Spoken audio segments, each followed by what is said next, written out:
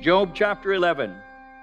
We'll look at the chapter today. We'll begin at verse 1, read to verse 4, and uh, get into our study. Beginning at verse 1, Job chapter 11. Then Zophar the Naamathite answered and said, Should not the multitude of words be answered? And should a man full of talk be vindicated? Should your empty talk make men hold their peace? And when you mock, should no one rebuke you? For you have said, My doctrine is pure, and I am clean in your eyes. Well, Job has been making a statement. We already saw how he had begun. He had, he had stated in chapter 10 that he was making a complaint to God. And in chapter 10, we saw last time we were together how that this man had spoken of the bitterness of his soul. And he had asked God as he was contending with him, he asked God, why? Why is this happening? So, as he was doing so, as we saw, he tried to reason with God by giving vent to his frustration and by asking questions. It is good. Is it good to oppress and despise the work of your hand? Does not your ability to know all things reveal to you that I'm innocent? This is what he was saying. You fashioned me with your hands, but you would destroy me? I don't know why. What have I done to deserve this? I'm simply a miserable man. I am unrighteous. I'm filled with disgrace. He went on to say, Why did you survive? Let me survive childbirth. Leave me alone. I'm in such need of comfort. Please, God, just let me die because I can't take any more of this pain. And that's what he's been saying. He's been pouring out the complaint of his heart. He was speaking, as he said in verse 1 of chapter 10, of the bitterness of his soul. And that's what we received him to last time we were together. He was complaining. He is speaking. He was wanting God just to let him die. He was saying, I can't take this anymore. The pain that he was going through is unimaginable. Nobody in this room could, I, beginning with me, could understand the kind of pain that he went through. We can't understand that. But he was in such great pain. He was saying, Why was I even born? I should have died in my mother's womb. I should have died when I was born.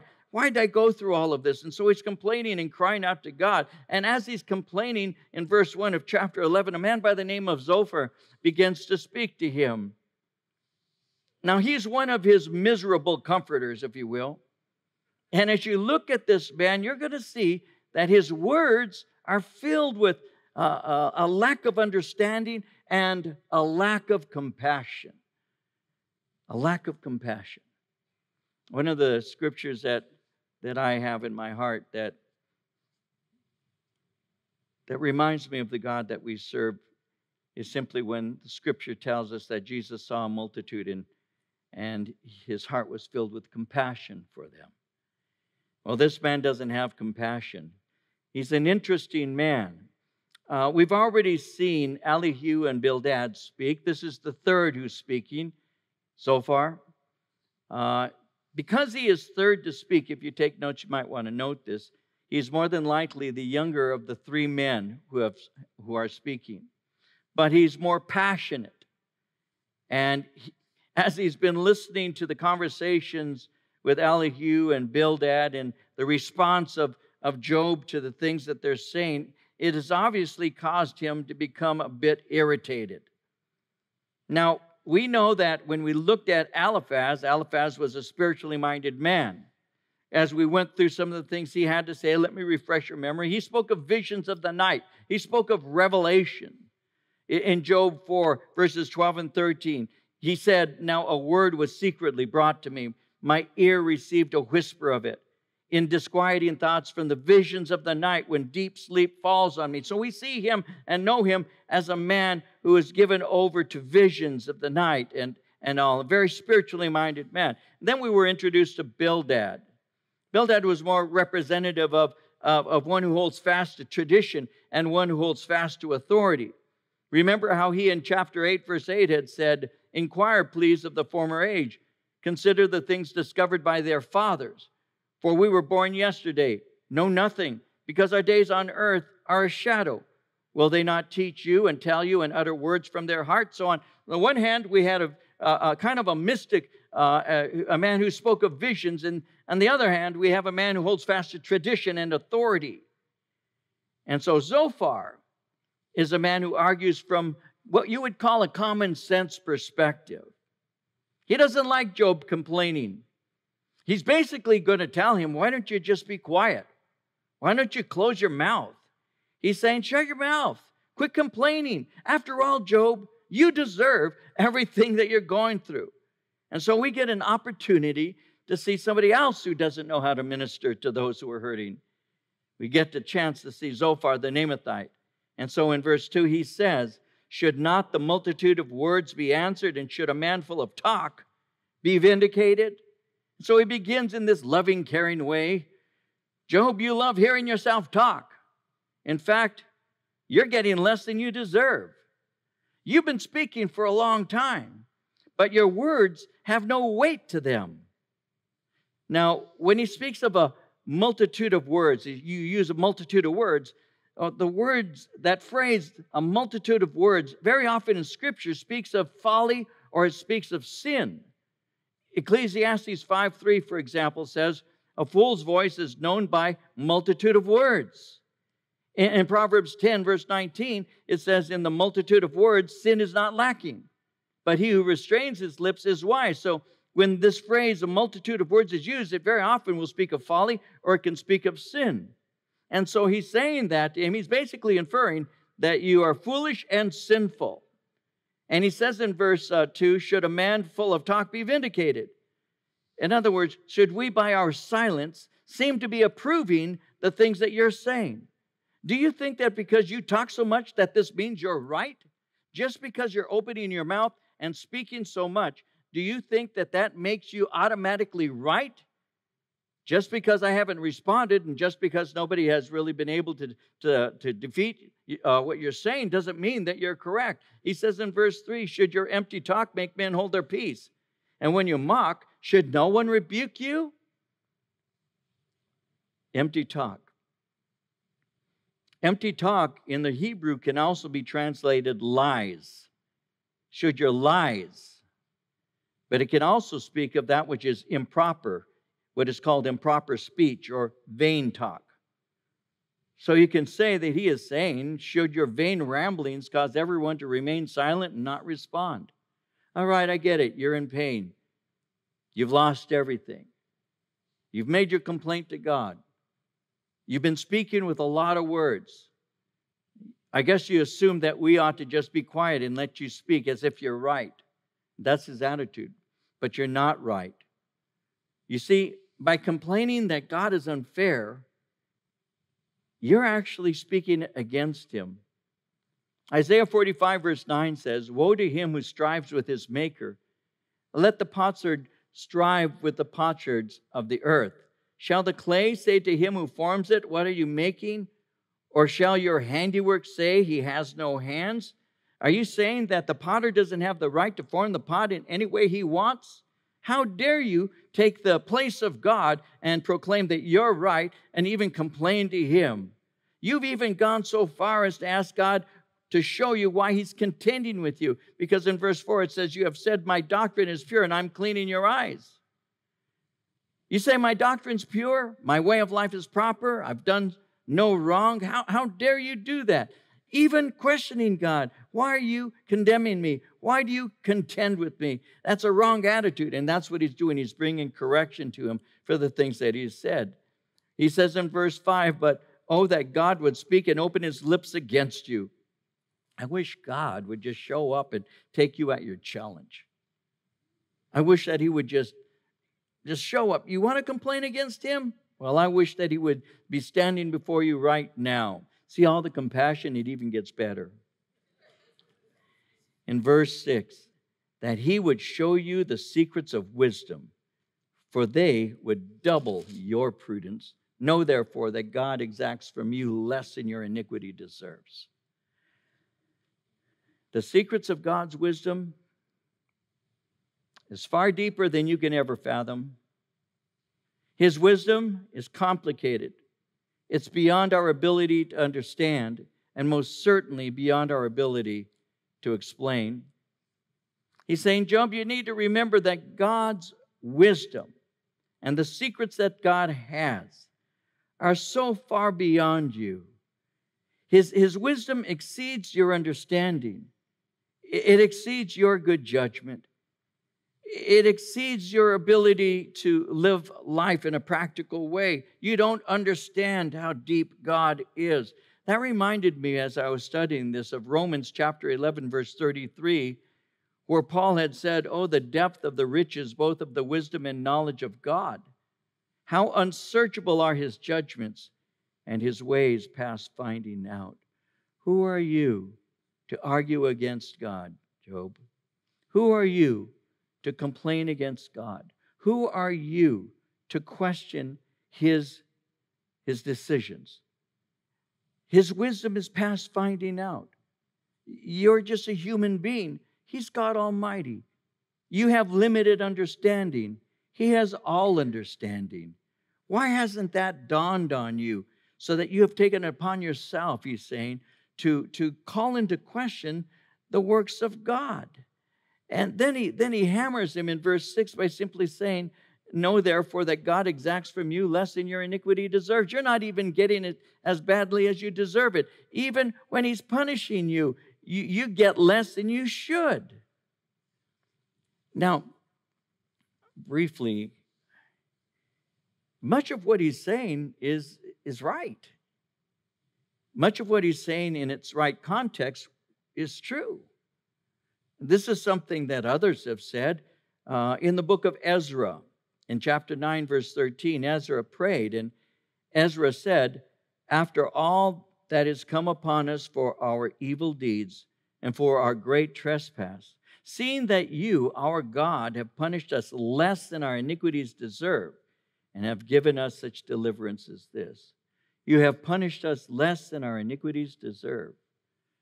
Well, He's basically simply saying, and again, he's assuming that Job is in sin and thus receiving what he deserves. He's saying, You ought to get it worse than you're getting it, Job. Don't you have any humility at all? Can't you understand this? And then he goes on in verse 7 Can you search out the deep things of God? Can you find out the limits of the Almighty? Are you able to do that? Can you discover the depth of his wisdom? Job, can you give me an explanation? Give me the reasons why he does what he does? Do you really think you're, you're, capable of understanding his ways? Do you really think that you're capable of knowing all that God knows and thus you can correct him for what he's doing? In the Psalms, in Psalm 145, verse 3, it says, Great is the Lord and greatly to be praised, and his greatness is unsearchable. So you cannot search out these deep things of God. You cannot find the limits of the Almighty. He's so far beyond you. Don't you understand that? In verse 8, they're higher than heaven. What can you do? Deeper than Sheol. What can you know? Their measure is longer than the earth and broader than the sea.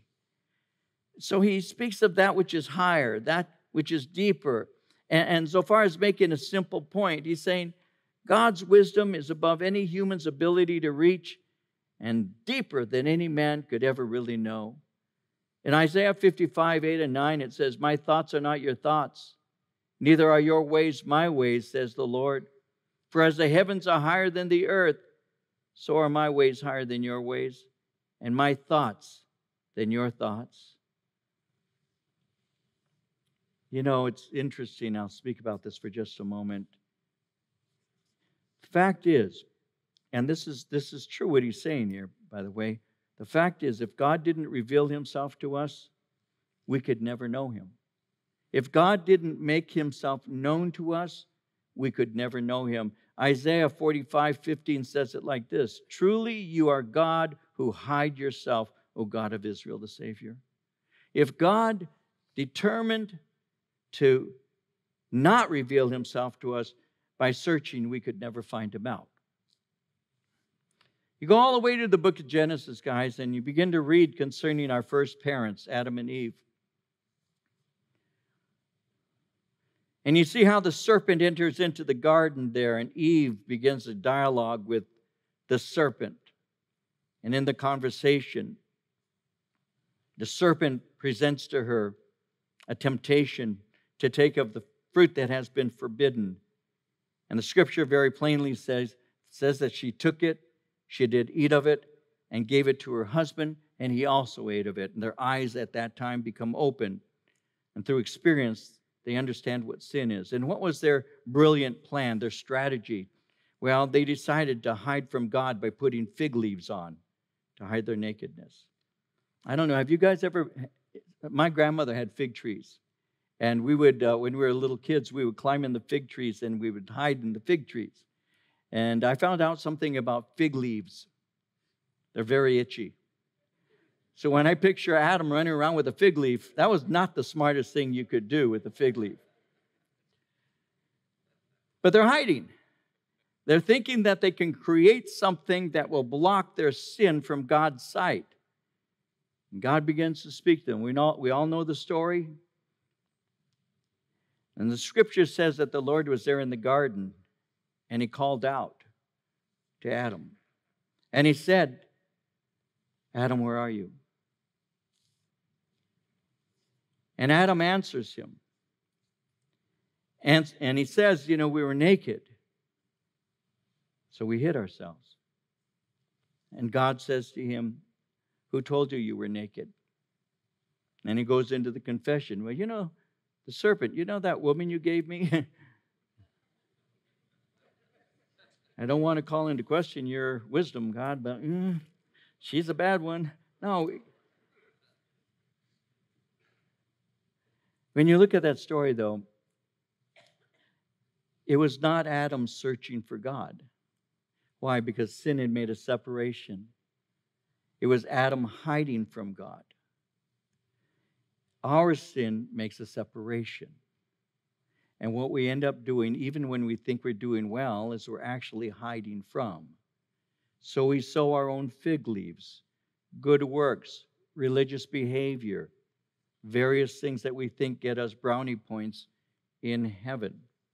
But God has to speak because God is the one who searches out, and it's God who reveals himself. We all, like sheep, have gone astray. Each has turned into his own way. The Lord has laid on him the iniquity of us all, Isaiah tells us in chapter 53. What we have is a seeking God. We all have sinned, fall short of the glory of God. There's none who does that which is right. No, not a single one. All of our righteousness is as filthy rags, Isaiah tells us, in the sight of God. They're like lepers' cloths that with this the pus that would be emitted from the sickened arm and the various things that would ooze out. We are like lepers' cloths. That's our righteousness in comparison to the, the spotless righteousness of God. So if God does not reveal himself to us, guys, and this is where we ought to be really so blessed. If God did not reveal himself to us, we could never know him by searching. We would not find him. His ways are past finding out. He is beyond us. Truly, thou art a God that hidest thyself, Isaiah said. You are a God that is distant from us. And so, what God has done, and this is the heart of Christianity, is He took upon Himself human flesh. He dwelt amongst men. And John said, and we, we, we beheld His glory, the glory as of the only begotten Son of God. He revealed himself to me. He showed himself to us. You see, Job had cried out, Oh, that I had a mediator. Oh, that I had someone who could, who could plead my case for me. Well, that's why we need Jesus, our mediator. You see, Jesus knows the Father. He knows all of the Father because he himself is God in the flesh, and he reveals the Father to us. In Matthew, in chapter 11, verse 27, he said, All things have been delivered to me by my Father. And no one knows the Son except the Father, nor does anyone know the Father except the Son and the one to whom the Son wills to reveal him. Remember, there was a time in chapter 14 of the Gospel of John, one of, one of Jesus' uh, disciples, a man by the name of Philip, is mentioned there. And do you remember when Philip said to Jesus, Show us the Father? Show us the Father. And that will be sufficient for us. Show us the Father. Jesus, show us. Because Jesus had been speaking and he had, had, had just said, I am the way, the truth, and life. No man comes to the Father but by me. And then Philip there says to him, Show us the Father, and it'll be enough. Show us the Father, reveal God to us. And Jesus responds to him. It's a beautiful response. It's found in John 14, 9, where he says, Have I been with you so long, and yet you've not known me, Philip? He who has seen me has seen the Father. So how can you say, Show us the Father? Unless God reveals himself to you, you cannot know him. He reveals himself through the conviction of the Holy Spirit. And he has revealed himself by taking upon himself human flesh, came and dwelt amongst us, and we beheld his glory. When Paul was writing to the church in Colossae, in chapter 2, verse 9, Paul said, speaking of Jesus, in him dwells all the fullness of the Godhead bodily. Jesus is the incarnate God. And that's how we know him. No, we cannot on our own search out the deep things of God. No, we cannot find out the limits of the Almighty. As he said, they're higher than heaven. What can you do? Deeper than hell itself, than Sheol. What can you know? Their measure is longer than the earth and broader than the sea. There's no way that we, in and of ourselves, is a point that is being made, could ever know him because he's beyond anything that we as human beings could ever ever fathom. Our sin has made a separation between God and ourselves. We need a mediator. He says in verse 10 if he passes by, imprisons, and gathers to judgment, who can hinder him? And this is interesting. When I, I read the words passes by, I thought, what, what does that mean? So I looked it up to see what the literal translation and of the, that phrase passes by because it says passes by imprisons and gathers to judgment. So, how does that work? So, the words passes by, it carries with it the thought of rushing, something that's moving quickly. And the thought is it's making, uh, rushing to arrest someone, to rush after them. In order that, and that makes sense here, if he rush, if he passes by, if he rushes to arrest, then imprisons and then gathers to judgment who can hinder him, is the point he's making. God rushes to arrest, he's saying. God imprisons and God judges. And when he decides to do that, who can stop him? God is righteous. God knows all things. God knows the details of the crime. And God is going to judge properly. And because he has a righteous judgment, who can argue with him? And who can plead their case? And who could prove him wrong? Who can resist God, is what he's saying. No one can deliver a criminal from his hands. In Isaiah 43, verse 13, it reads, Yes, and from ancient days I am he. No one can deliver out of my hand. When I act, who can reverse it? It says in verse 11, He knows deceitful men. He sees wickedness also. Men do not know God or very little of him. They can't judge his ways and they can't determine his purposes. Though men cannot judge him, he knows everything about men and he can judge them. He sees wickedness and will he not consider it? In other words, he sees what is wicked and he punishes it. God, he's saying, sees not only the action, but he also knows what motivated that. He knows the secrets hidden within the heart. Job, you don't have the capacity to do that. And because you're incapable of seeing anything other than outside behavior and you don't know a man's hearts and you don't know the things that go on within him, you need to stop arguing with God. You see, God knows everything about us.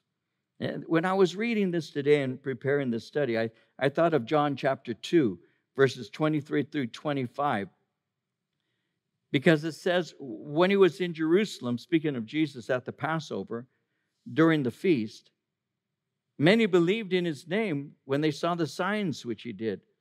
But Jesus did not commit himself to them because he knew all men and had no need that anyone should testify of man, for he knew what was in man.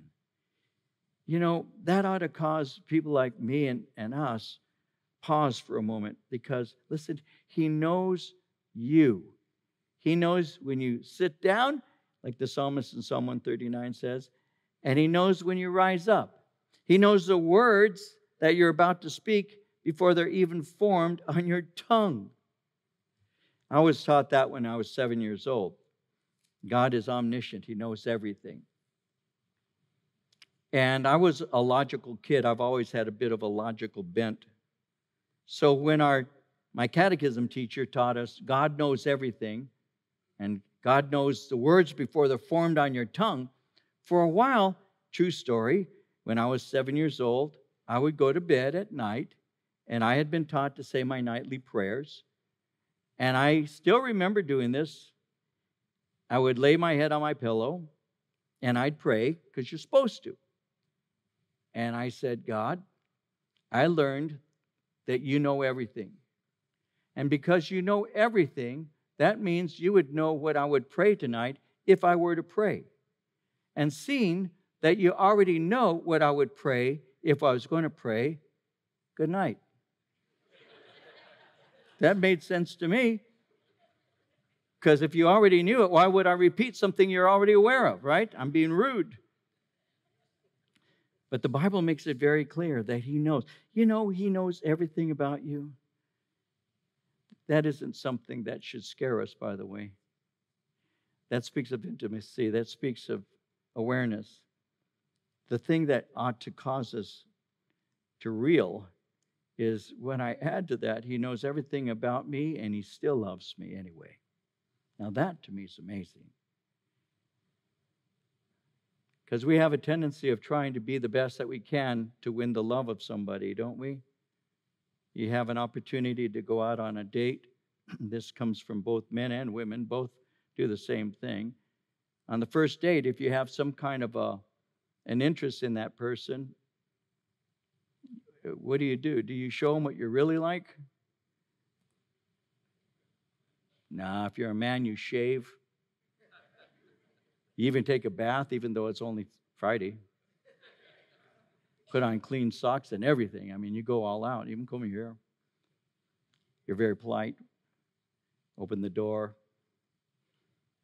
Try to get to know one another. Do you tell them all the secrets? Do you tell them everything about you? Do you say, oh, by the way, I was arrested four times for this? No, no, no. You were the, you were the, you know, president of the high school. You were on the track team. Yeah, it was very fast. Yeah, when you were running from the cops. no, you, you put your, your best face on, right? And then you share with them as much as you want them to know about you over time. Sometimes you don't tell them everything. You can be with them 30, 40 years in marriage and still they don't really know your real story. It's a fact. They don't know your real story. They only know what you trusted them with. And sometimes some guys who have hidden their past from their wife are afraid that someday she may find those secrets. And he's afraid that she may not love him anymore because she really doesn't know the true guy that he was, even though he may be different right now. But guess what? God knows everything about you, He knows everything about you. There's not a single thing that you've ever done. And that's, that's such, that causes me to wonder. But he does. He knows everything I've ever done, every word I've ever spoken, even the words that will come from my mouth tomorrow, next week, or next year. He already knows those too. He knows the things that I wouldn't want anybody to know about me. He knows those things and He loves me anyway. He loves you anyway. Have you allowed Him to love you anyway? You know, because you can try real hard, even before God, to hide what you really are. But when you finally say to Him, God, this is who I am, I'm worse than I pretend, but you know everything about me, there's a freedom in that. There's a freedom I've experienced in that. He knows you, and He still loves you.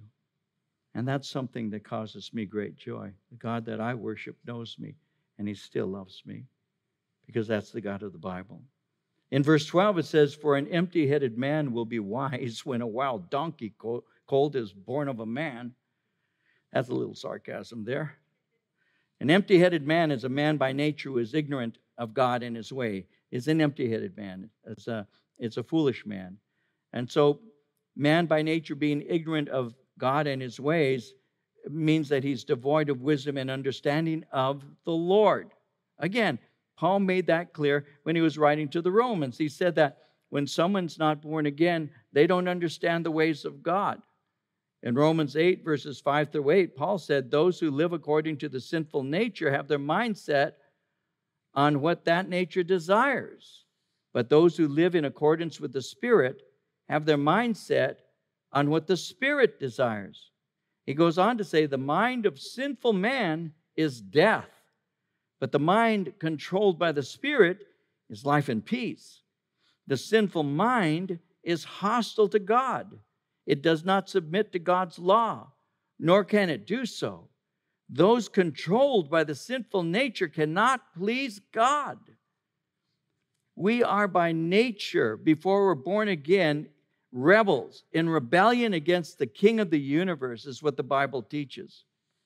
And as I've said so many times in various ways, if God says, go to the left, our nature says, no, I want to go to the right. If God says, stop, our nature says, no, I want to continue to go.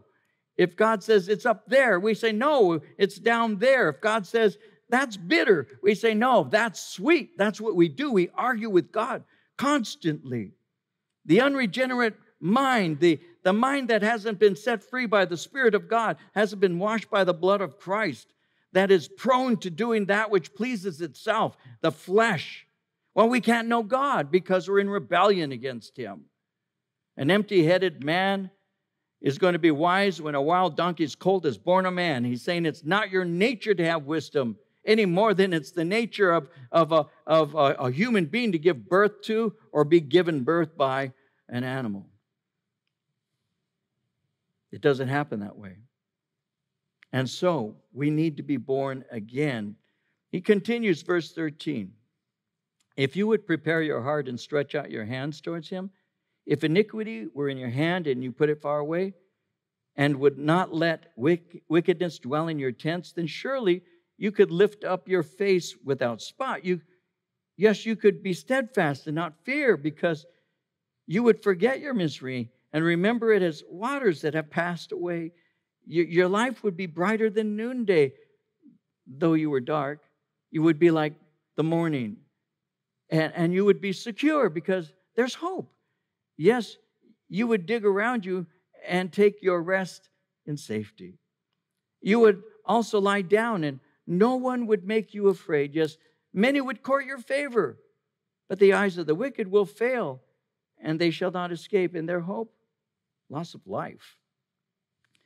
Even a stubborn man may be reclaimed if he repents, is the point he's making. Listen, all you need to do is confess that you've sinned and if you confess, you'll be forgiven and you'll be healed. He, he says in verse 13, if you would prepare your heart and stretch out your hands towards him. So Zophar is convinced that Job is guilty of sin and has been punished for his sin by God. He said, God knows deceitful men, God sees wickedness also. He told Job that he was without wisdom. He didn't understand the ways of God. And, and because of this, he believes that Job is, uh, is, is in sin, and therefore he's giving Job an invitation. Job, listen, you need to seek God, and when you do, God will once again bless you. You see, to Zophar, it's, it's obvious that Job is, is reaping what he's sown. Job, you need to repent. So in verse 13, he's telling Job, don't, don't argue with God. Recognize your sin, turn from it. You need to repent. Prepare your heart, stretch out your hands to him. Now, that phrase, stretch out your hand, in verse 13, is an, it's an interesting thing. Uh, to stretch out your hand is a picture of surrendering to Him. Surrender.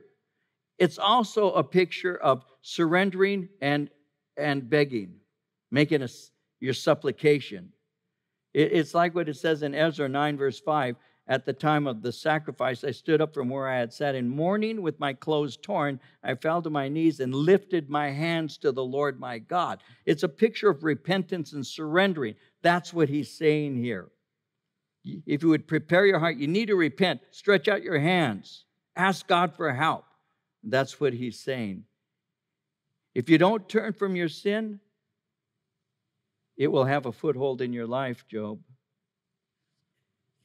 Well, in that, that observation in general, by the way, would, would make Zophar right. He's right about that. If you don't turn from sin, it does have a foothold in your life.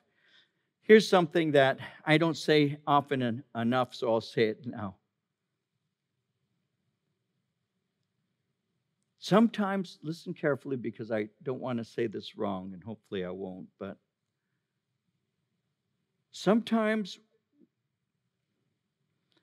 we can speak of sin and actually lessen the depth of evil that it really is because our desire is to recover people and thus we don't want to say sin is as terrible as it is sometimes.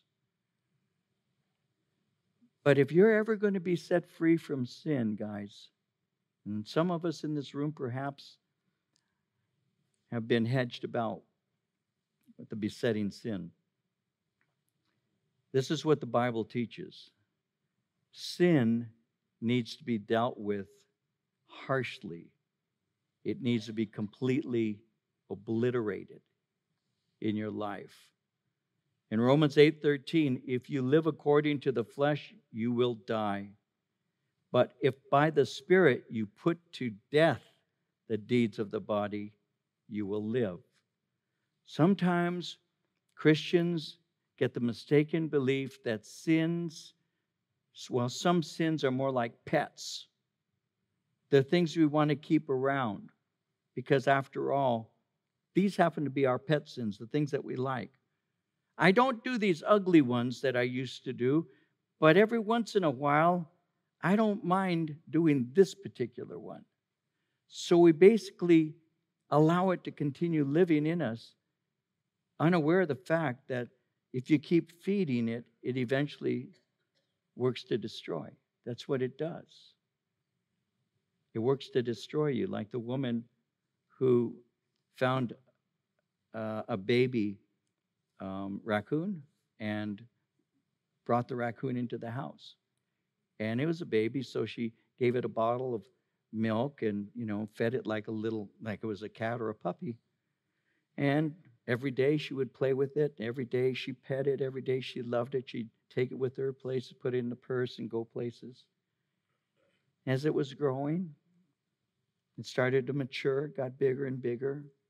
And then one day, she is there on the couch and she went up and did what she'd been doing for so long. She put her face next to it to, to greet it. And and he, they have these claws on them. And it reached up and ripped her face, just ripped her face, tore her face, because she thought that she could domesticate a wild thing. Eventually, what happened is that what she loved and cared for and nurtured harmed her. And your sin does the same thing and even worse. You don't, you don't keep sin as a pet. You don't make an excuse for it. You, you don't say, well, it's just the way my family is, or that's just the way we are, or that's the way my culture is, or whatever. Because we can find various things that uh, we use as excuses. Now, the Bible says you, you mortify the deeds of the flesh, you put those things to death. In Colossians, Paul said it like this in chapter 3, verses 5 through 8. He said, Put to death, therefore, whatever belongs to your earthly nature. Then he begins to list some things sexual immorality, impurity, lust, evil desires, and greed, which is idolatry. Because of these, the wrath of God is coming. You used to walk in these ways in the life you once lived. But now you must rid yourselves of all such things as these anger, rage, malice, slander, filthy language from your lips. Sin is to be dealt with it's to be obliterated, it's to be put to death. it's to be turned away from. So you don't hold fast to it, you put it to death, you die to it on a daily basis.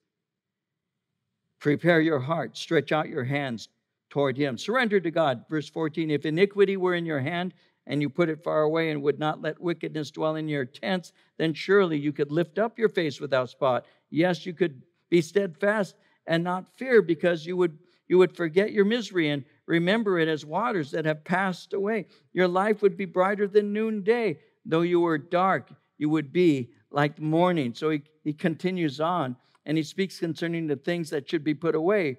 Uh, if iniquity were in your hand, put it far from you.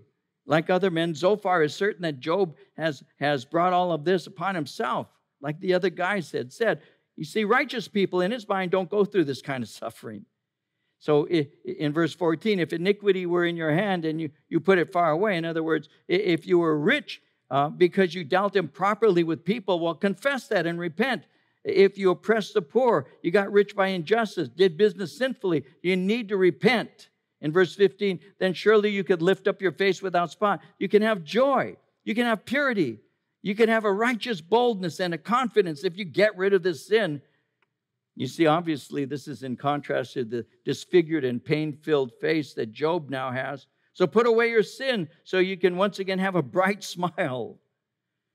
Job had just said uh, he could put off his sad face and wear a smile, but it would be fake for him to do that. Well, Zophar says if he repents from his heart, then he'll have a smile that's for real. It's like what it says in Psalm 32 1 Blessed is he whose transgression is forgiven, whose sin is covered. In verse 15, he said, This will result in you being steadfast. Steadfast speaks of, uh, it's actually a word that speaks of molten metals being poured into a mold and becoming combined and solid. Instead of being in doubt, he's saying, You will be firm and fixed. You'll be unwavering.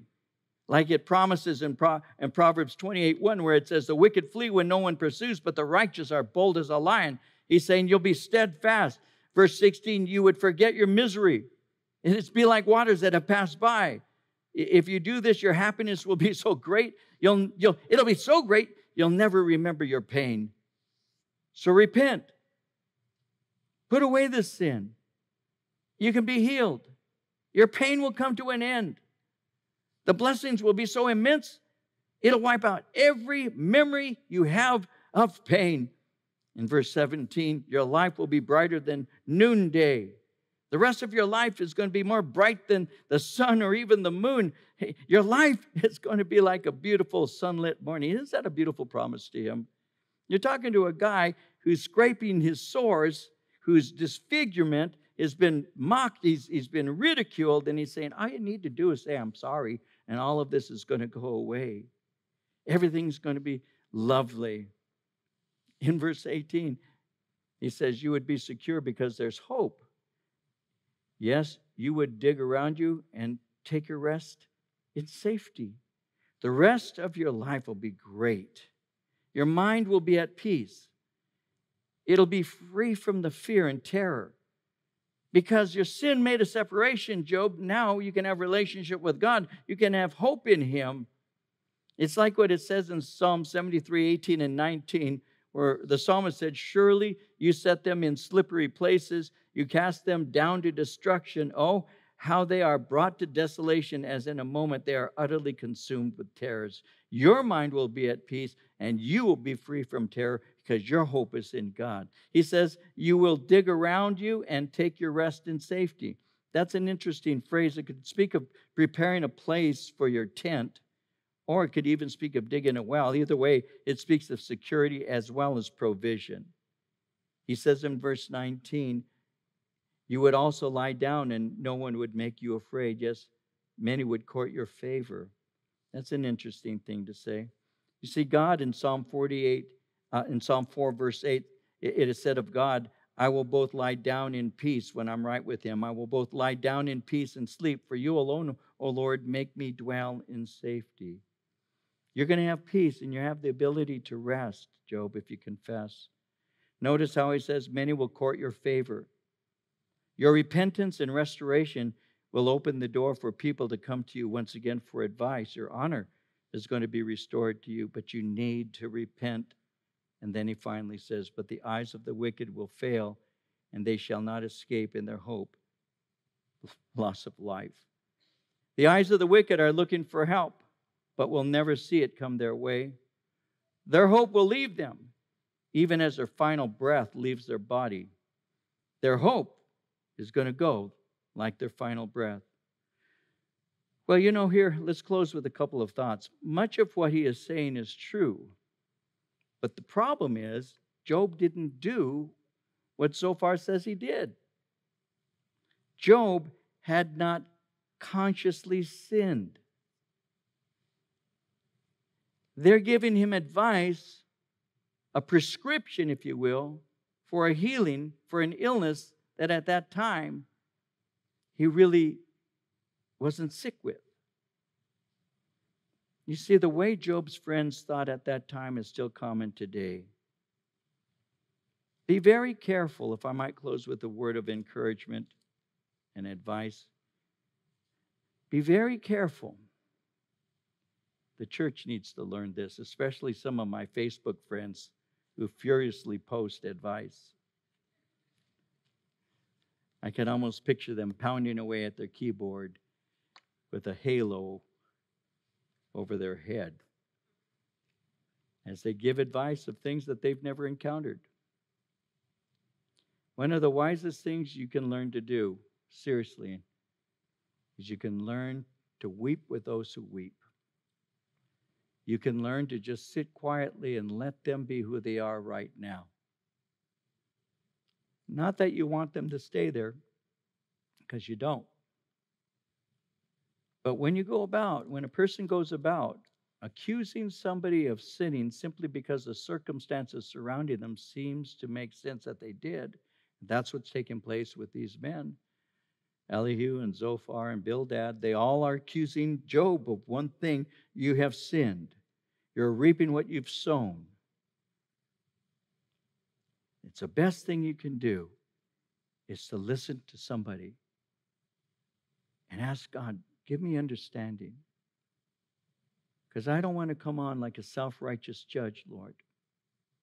And I don't want to give them a word of healing when they're not ready to receive it. So give me the wisdom to listen and to listen, Lord, with, with your heart. Read the words of Jesus. Spend time looking at how he ministered to the sinner. And as you see him speak, there are so many times you see his love and his compassion. He never gives them a reason to continue in sin. He never gives them permission to remain in sin, and these are sinners he's speaking to.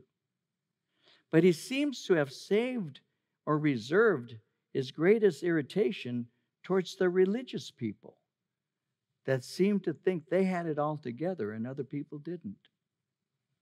We're living in a time in the church where we're quick to give the remedy, but we're not so quick to have compassion on the one who's suffering. Sometimes we get frustrated. I understand that. And sometimes we give advice and they don't seem to listen, and we just think, my goodness, and I'll just, I got nothing else to say. But I discovered, and I have continued to discover, that one of the things that makes somebody a healing agent in the hands of God is a willingness to let your heart be touched with their pain, to allow yourself to be vulnerable enough to try to understand where they're coming from. Yes, we have the answer in Christ. We do. And yes, His Word brings healing. But sometimes I need to just listen to what they're saying because sometimes they're confused and they don't know exactly how to put into words the pain that they feel. And some of us have a tendency, unfortunately, of wanting to give the solution before we hear the problem because we really don't have the compassion of Christ. But when you say to the Lord, Help me to have an ear to hear and a heart to, to feel, watch your ministry start taking off because there are so many broken people. So many broken people. And I say this to pastors when I teach pastors at pastors' conferences. I say, look at your congregation.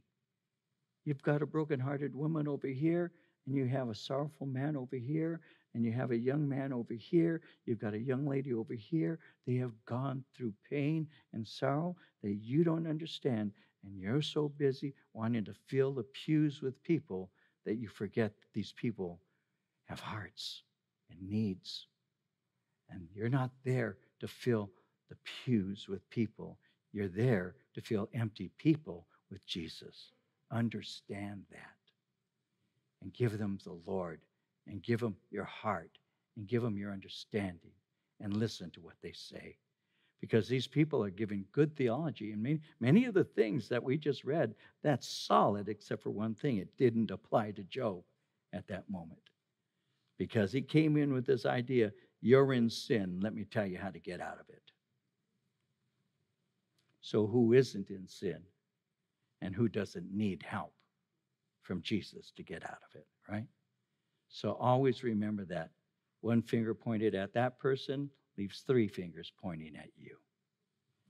Never forget it.